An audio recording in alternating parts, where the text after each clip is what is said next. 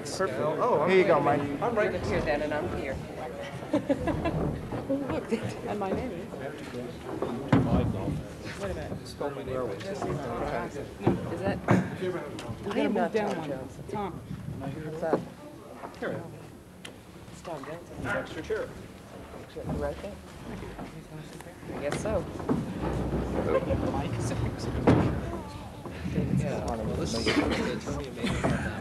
Oh,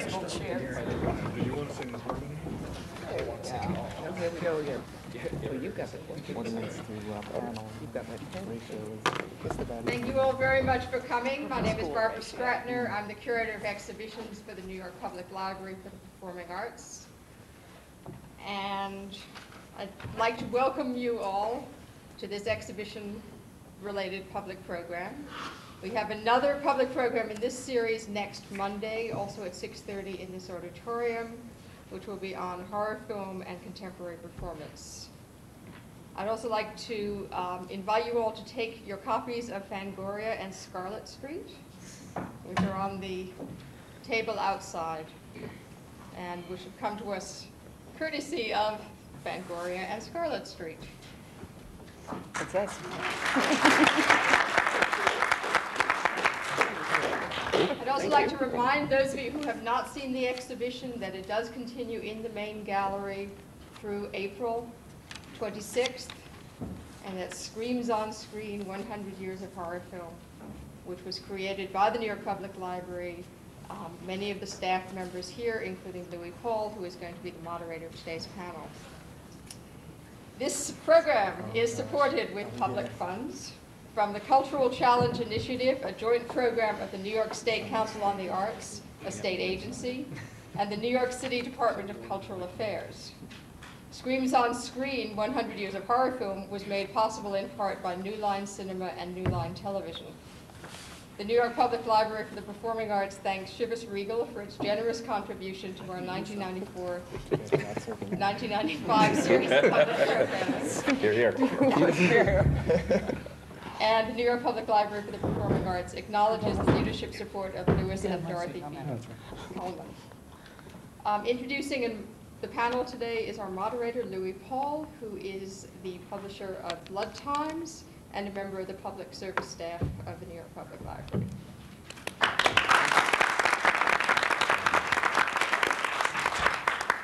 to get settled here. Um, Before I begin, I would like to thank the library's exhibitions curator, Barbara Stratyner, for inviting me to assist her and the uh, staff that put this horror film exhibition together. Uh, Tom Lasante, Richard Rhines, Brian Ross, and Mary Ellen Rogan. And altogether, these people worked really hard to put this exhibit together, and I'd like to thank them. We also like to thank the Division uh, of the New York Public Library for the Performing Arts, especially the Billy Rose Theater Collection for allowing us to use the materials in the exhibit. Uh, We worked really hard putting this together, and um, the theater collection uh, had a great amount of materials that no one seemed to have even known, including the theater collection that they had, so we really wish to thank them for their cooperation. Tonight, we have an esteemed panel of authors, editors, publishers, who specialize in writing about the genre. And Johnson. It is hoped that tonight's forum will be informative, educational, and fun. I think it'll be fun. And With I'd all like that to shit start that's in tonight's here. discussion by introducing the panelists, and then begin with questions to the panelists, and if time allows, and I'm sure it will, I would like, I'd also like to take questions for the panel from the audience, for those of you who wish to ask them questions. Since everybody regrouped, figured out this whole thing. Everybody hold up To your. my left, I have uh, Tom Johnson. He's co-author of Peter Cushing, The Gentleman of Horror in his 91 films, as well as a, another work to be released, uh, Hammer Films Productions Limited. He's co-author with Deborah Del Vecchio, fourth person down. They both collaborate on these books.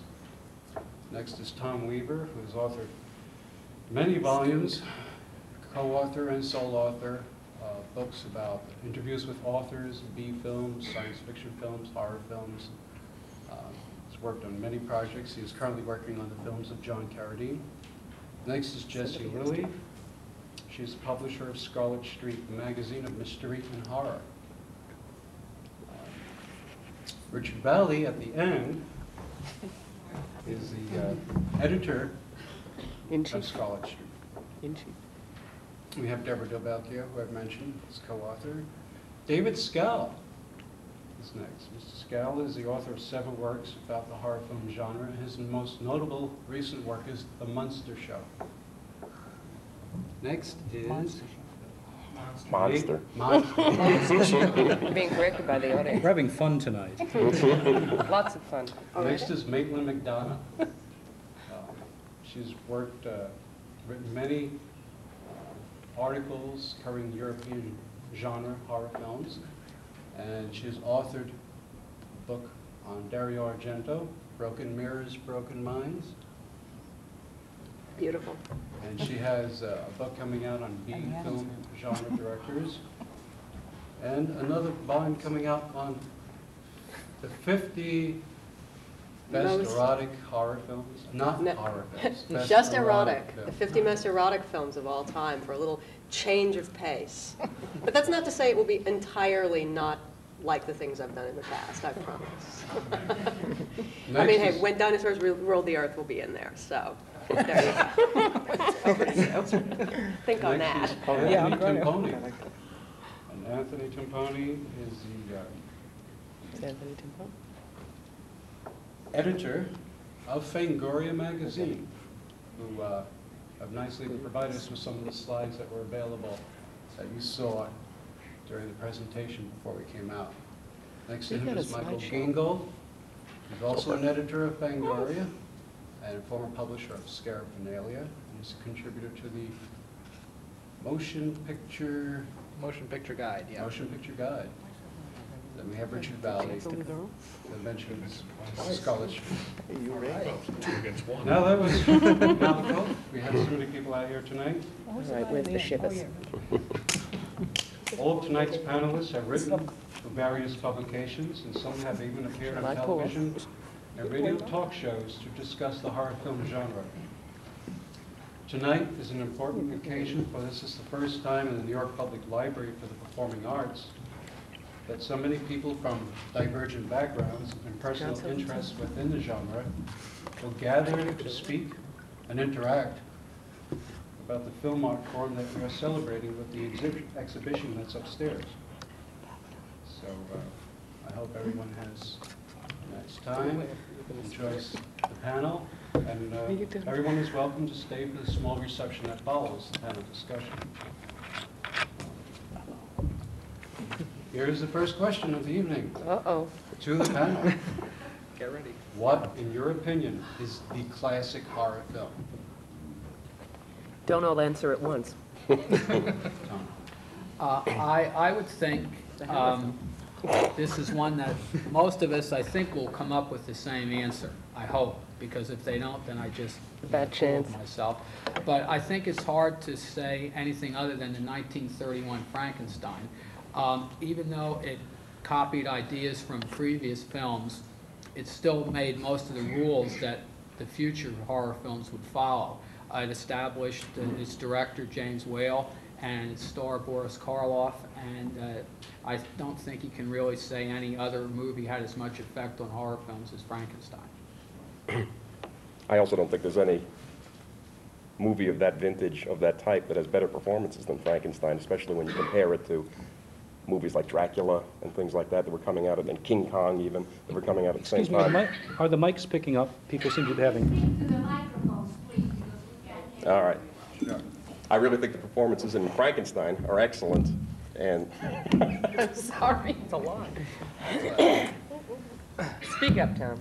I think the performances in Frankenstein are excellent by, thank you.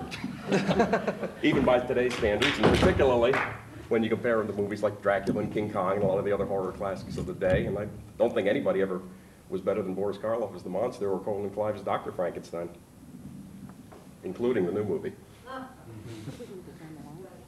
Are we going, well, if we're going down the line, Debbie, why don't you just say why your face got so angry when someone said Universal? Well, I think should like have seen the anything, look. uh, horror films are subjective. So someone may say, well, this is a classic horror film, but someone else would say, well, I don't agree with that. I think this film is the greatest horror film ever made. So I, I think like any art, it's subjective. So I don't know, maybe the classic horror film hasn't been made yet. Maybe it has. It's up to you. Well, I'm surprised nobody mentioned uh, The Cabinet of Dr. Caligari, which is the, the, uh, the kind of ur text, you know, of, of the whole genre. Uh, Certainly, most of the horror classics of the 20s and 30s drew inspiration, characterizations, uh, uh, and, and and visuals especially from, from this film. You can see glimmers of Dracula, Frankenstein, even films like King Kong in uh, The Cabinet of Caligari. And uh, it kind of came out of nowhere. I mean, it drew upon the visual arts and theater, but in terms of cinema, it was absolutely original. And it's continuing, uh, I think, to have an effect today. Uh, when, you, most recently, uh, Brandon Lee in The Crow is a figure that is drawn directly from that, that image of Conrad Veidt in, in Caligari. I always thought it was a shame that uh, Veidt didn't get to play Dracula. He was considered for the part uh, for a bit in the late 20s because uh, he, he really inspired so much of the, what's come out of the genre. But uh, you have your own. Oh, and I'd say that at the same time, of course, you can't neglect to mention Nosferatu, a film that took many of the, the visual motifs of German Expressionism, which you see very clearly in Caligari, and integrated them with a more realist style of filmmaking. Uh, Nosferatu is clearly a film that, without which, the universal horror films could never have looked the way they did. So I think what we're beginning to come to here is, is the conclusion that you really can't name the classic horror film, even if, yeah, exactly, as you said, one person back. Never heard that. Not only is it subjective, but even if you narrow it to a particular historical period, the so-called golden age of horror, which most people would say is, is the age of the universal horror film of the 30s and early 40s, mm-hmm. even there, there's no one film that sums up everything that you would want to say about the genre. There are a number of films, and you really need to consider them all. And I'll leave poor Tony now to pick up from there. He's got to come up with a splatter type. Right, well, that's why he's here. I, I don't think I could pick one cla, well, actually, I could pick one favorite horror film. I would just go with Psycho in terms of sheer technical brilliance. That's my all-time favorite horror film, and I also think it's probably the classic horror film, even though it doesn't have the traditional monster figures in it. It Just replace the supernatural with the guy next door. I think in terms of uh, recent horror trends, the uh, quote classic that started it was probably Halloween in 1978 because uh, that only not only established a new series of conventions for modern horror and also for thrillers, which don't necessarily fall in the horror genre, but uh, for a long time changed the uh, financial um, qualities of horror films. That started a trend of very low budget films achieving a lot of uh, popularity and uh, inspired a lot of people to make uh, low-budget horror films with hopes to get uh, into the mass market um, and pave the way for a lot of future successes. Very few of them of the same quality, but certainly in terms of influence, I'd say that's a sort of a modern classic. Yes.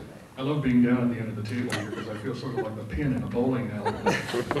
All the answers come barreling down towards me. We've had a number of people say that there's, there's no way we can really pick uh, a classic horror film, and then it's left to us at the end to actually see whether we can come up with one. Uh, You I notice kind I didn't say anything. It, it comes down to, uh, it really comes down to a favorite film uh, more than a classic film. There are any number of classic horror films. If I had to choose a favorite, I would go, uh, well, it would have to be two favorites actually. It would have to be Bride of Frankenstein. Um, Frankenstein is certainly wonderful, but I, we're talking here about a classic horror film, not necessarily one that was the most innovative, that uh, set all the, everything that was to follow. And uh, many people, myself included, prefer Bride over the original Frankenstein.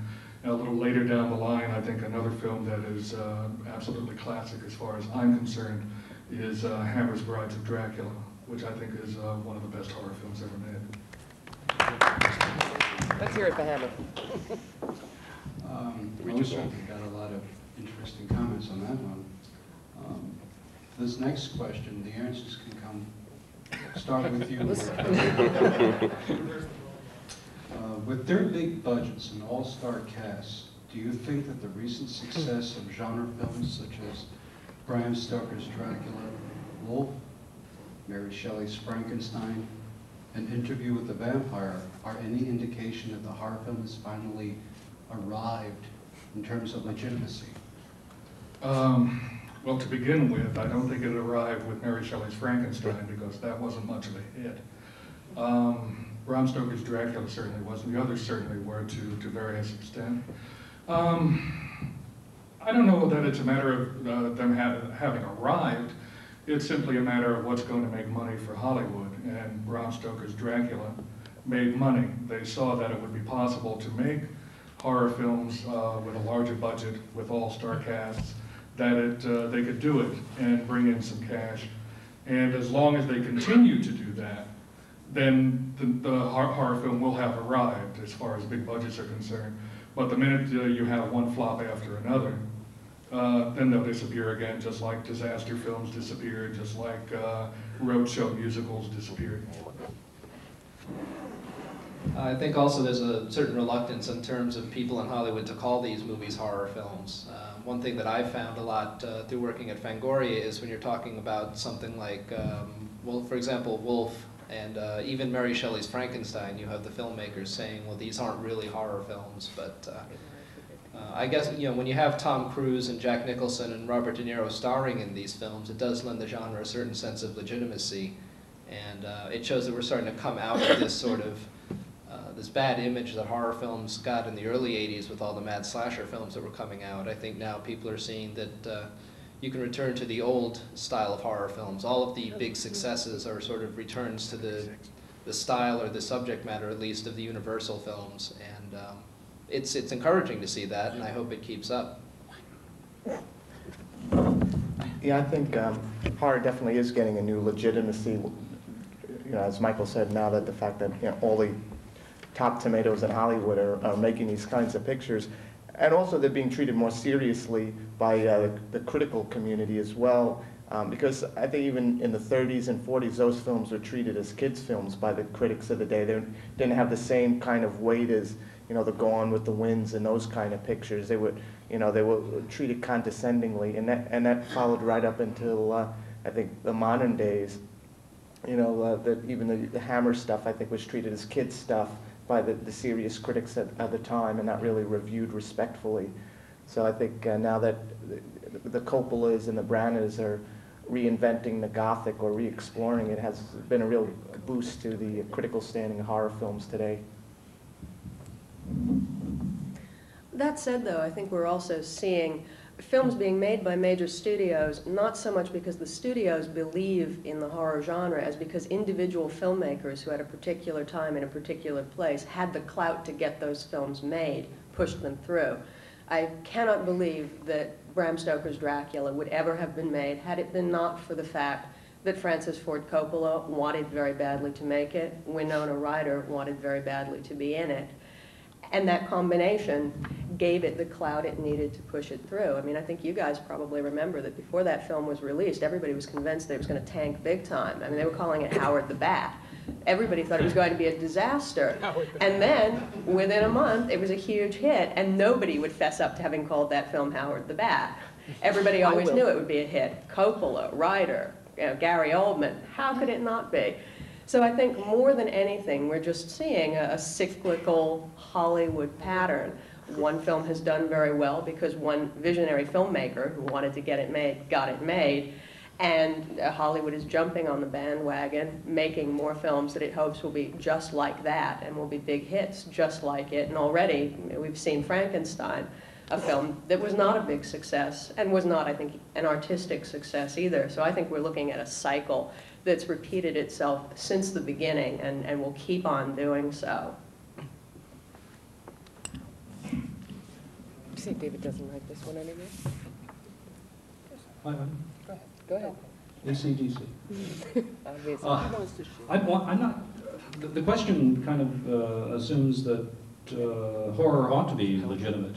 And I, I think it's important to, to think about the fact that horror movies draw a lot of their energy and their appeal in that they occupy dangerous territory, transgressive territory. Uh, they don't happen in the daylight. They're not about anything in our mainstream kind of lives.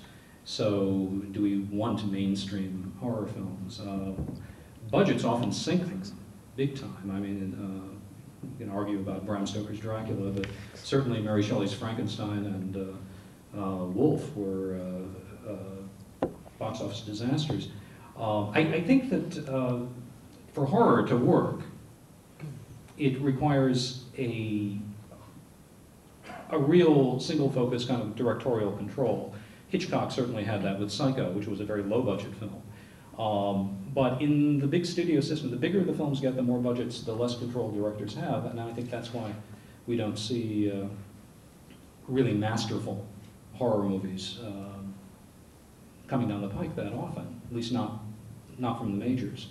Uh, certainly a lot of good independent filmmakers. Uh, but uh, horror movies tend to still be a place that many filmmakers get their start and do a really good job at them and then go off and make money and do other very boring kinds of things. But, uh, but I, I, I think uh, I think horror should stay in the gutter, but I'm not sure we want it in our living rooms. But I don't know if that answers the question. Deborah? You're Well, I up. don't know how much I could add to that, but, um, I think Silence of the Lambs did a lot for the horror film, even though it wasn't a horror film. Uh, By winning Best Picture, I thought I'd never live to see it. A horror film winning a Best Picture. It just astounded me. I said, well, it can only get better.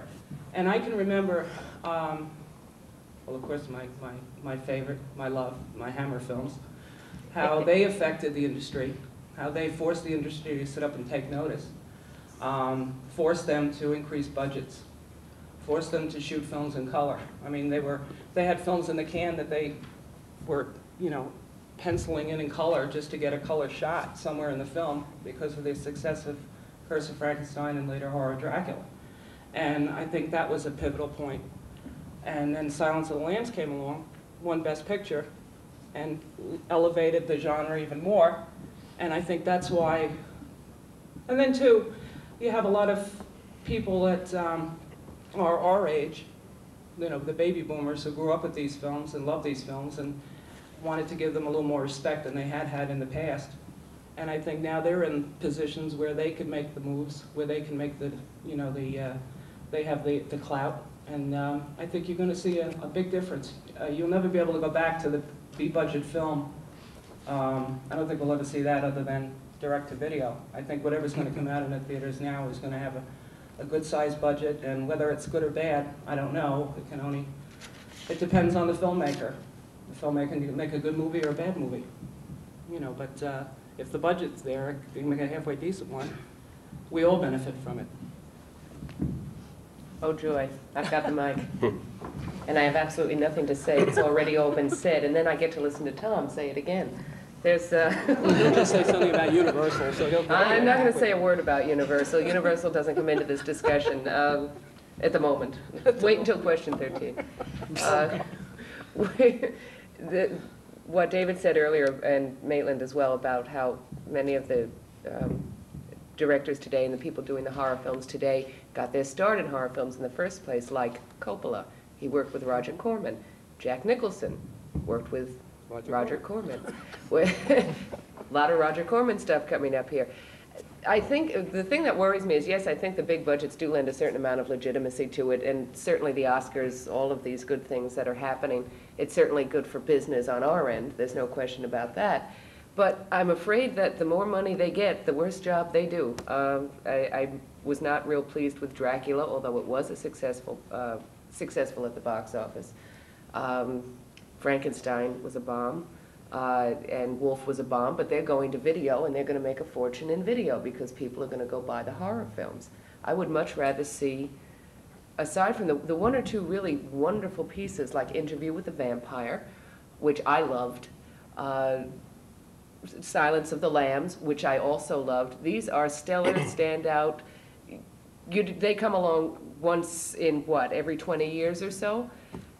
But you keep giving them lots of money like they did with Dracula, and, and you can forget it because they just, they get carried away. They lose control, and it isn't any good. So although you have a certain legitimacy added now, you're also losing quality, I think. A horror film was meant to be made in a back alley with very little money. They're just much better that way. What? Excuse me, I I don't mean to interrupt you, Dawn. No, that's quite all right. Another thing that I the noticed too is, um, it's the audience demand for something different. They want to see something different. Again, not to harp on Hammer Films, but Hammer Films Not gave. you. Hammer Films gave audiences what they were looking for, more visual horror, which had only been suggested in the Universal films. Now, audiences demand even more. So, I mean, it's going to mean larger budgets for better special effects. And I don't know, you know, you, you know, you want to be shown things. Yeah, but what would you rather watch personally? Just out of curiosity. What would you rather watch? Would you rather watch a Freddy Krueger? I, would you rather watch a I'd Peter like to watch Cushing? any, any of them, because Really? I'm not pigeonholed. I Okay. like good films, and I don't like bad films. Then I can't. But I don't care who made it or what the budget was. If it's good, it's good. If it's bad, it's bad. Yeah. It doesn't matter to me. Okay, See, I'm not, you're up. I'm I'm not a. Tom Weaver. That- Exactly. Here we go. If horror ever arrived and hit, a le- and uh, maintained any sort of feeling of legitimacy, it was in the early 30s, when, before any sort of prejudices took root, before it was possible to say, oh, it's just another horror movie, because there was no established genre at that point. And you can't say, oh, it's another Dracula movie, when it's the first Dracula movie, or anything like that. And also, Frankenstein uh, was seen by 15 million people when it came out, which if it came out today, and 15 million people, just in America, which if it came out today and 15 million people saw a movie, it would make $100 million, well over $100 million right there. So Frankenstein and other movies like it were a huge hit. And for all this talk of Big Silence of the Lambs, I think we should mention that the first horror Oscar was Fredric March in 1931 for Dr. Jekyll and Mr. Hyde. No, it was, it wasn't the best picture, though. No, it was Well, best Silence of the actor. Lamb was the Best first actor. best picture. Best Yeah, actor. that was best Best actor. actor. Well, I didn't say it was the first Oscar. Oh, well, okay. As, Particular. as far as uh, horror movies being legitimate, I think they've always been legitimate with the fans. And ultimately, I think people like us sitting here in the panel and in the audience, we're the only people that really count if they're legitimate or not. There's been horror movies made ever since there've been movies, because people want to see them. That's what makes them legitimate. Um, there's all this talk of, uh, the big budgets, uh, that we discussed through nine people and their answers. And legitimacy that has started pos- possibly as early as the, the early horror films of Universal. Legitimacy that may have started with the Hammer films. But do you think today legitimacy is different where special effects bring a role into that? For example, like, how do you feel about the use of special effects in today's contemporary horror films? Do you feel it adds to or detracts from the film? Do you think the story gets lost? Do you think that there's a danger of, as things go on, that effects will be the horror film? Tom? Yes. No. You say no and you're a dead man. I think the special effects can hurt a picture in that I recently, it's not a horror movie, but I recently saw Drop Zone with Wesley Snipes, and special effects have come so far that even when you see a guy jump out of a plane like Wesley Snipes and fall, special effects have come so far that I don't even have any confidence that anybody really jumped out of a plane, that anybody even went up in the air. Special effects have come so far that I don't get any real sense of excitement out of a movie that I know is full of special effects because I have no confidence that any stunts are being done, that anybody's leaving a soundstage. And instead of becoming less spectacular, I sit there with the kind of a, like attitude of watching a Roadrunner cartoon. I like the Roadrunner. As a matter of fact, I, I love the Roadrunner. You may keep holding that if you'd like, or I'll hold it, it doesn't matter. I really haven't got a whole heck of a lot to say where this is concerned. I said so already. I think the budgets are too big, and I think you're losing the, the, you, you, what, the excitement, that's what you said. Mm-hmm. The uh, willing suspension of disbelief uh, is, is all fine and good, but I'm afraid they pushed me a little too